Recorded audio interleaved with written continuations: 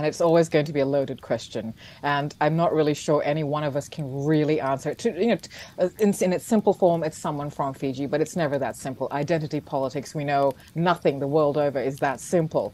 What does it mean to be Fijian? It means uh, we come we're from this this um, little this dot on the map that I have described before as a microcosm of the world. So for me, coming from me Fiji means that I have been able to step out of my uh, metaphorical doorstep, literal sometimes, and meet someone from China, meet someone from Germany, meet someone from you know Rajasthan or uh, down south. Or it's just it's quite a fascinating mix to come from Fiji to be and and to be Fijian.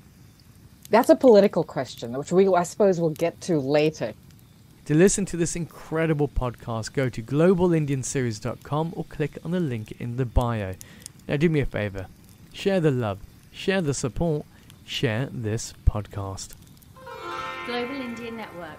Print, TV, events, podcasts. Find out more at globalindianseries.com.